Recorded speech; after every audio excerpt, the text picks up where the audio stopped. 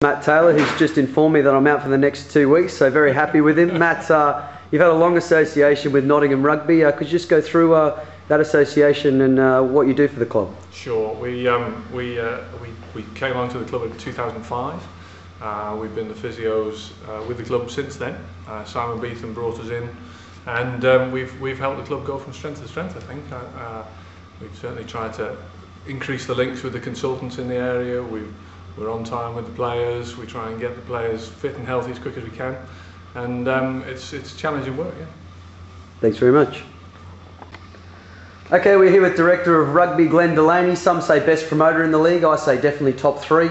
Glenn, it's been an up and down week. Let's start with the uh, the good stuff first. Last week against Moseley, five point Sunday. Yeah, really pleased with uh, with the game. Some of the best tries I think we've scored for a long, long time, and um, we're starting to see a lot of stuff coming off the training park, um, which is nice. And you know, to be fair, when you've got uh, devastating runners in, in the game that are, that are active in creating sort of opportunities, and people are following through following them through space, then it's pretty good to watch. So um, we were pleased with that.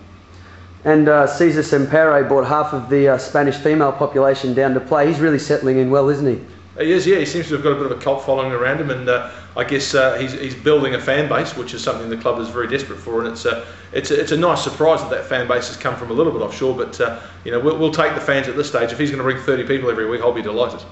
And speaking of devastated runners, Sione Kalamafoni has been pretty instrumental over the last few weeks. Pretty disappointing that uh, he received a five-week ban uh, this week. Yeah, we're really disappointed for him. He's very upset. Um, you know, the the evidence was was effectively inconclusive, so the panel just made a judgment decision. Um, and their view on the balance of probability was something has happened.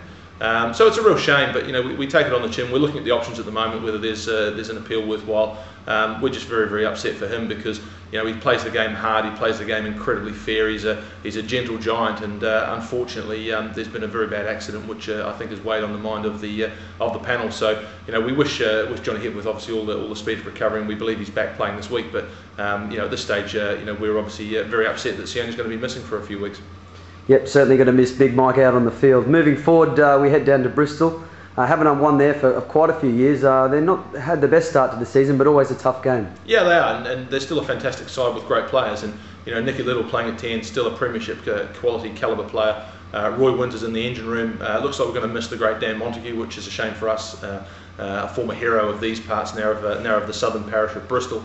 Um, but Dan is, is, is injured at this point in time, but um, has been playing incredibly well for them. But you know, playing at the Memorial Grounds not somewhere we've won before. We lost down there heavily last year, so we're looking to try and get a bit of on the road form going as well and a few different uh, team selections this week. A couple of key guys uh, on the bench, just trying to keep guys fresh. Is that the policy this year? Yeah, we've got a lot of guys who can cover in, in positions, and uh, you know there are all positions up for grabs, and, and, we've made that policy as a coaching team that every everyone is going to get their opportunity to play. So you know it's a great chance for us to give uh, guys an opportunity, and uh, there are guys back from fitness. Um, there are guys who are out with a, with a couple of niggles, so we're in that fortunate position that we can uh, roll and rotate a little bit.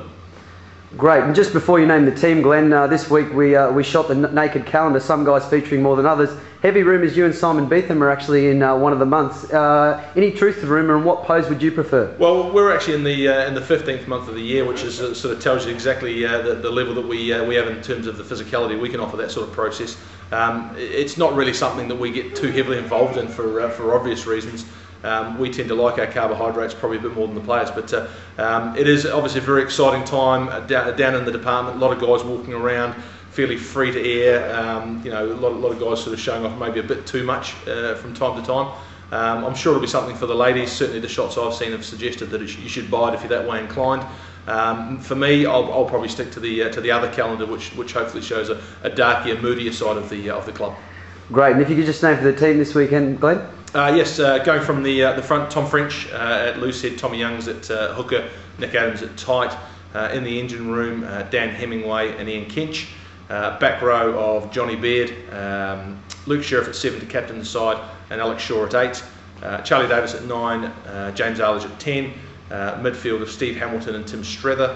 backfield of, of David Jackson, Cesar Sempere at the back, and Andy Savage on the right wing. Great. See you at the game Sunday. Yeah. Oh, well, not you, Tim, because obviously um, not available this week thanks to Matt Taylor ruling you out. So uh, again, thanks from me for that, uh, Matt Taylor.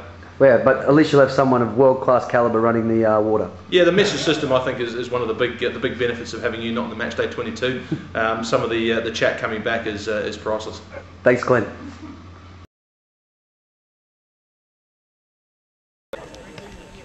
Tom Young's hooker. Ian Kench, second row. Johnny Baird, back row. Luke Sheriff, open side flanker. Alex Shaw, back row. James Arlidge, fly half.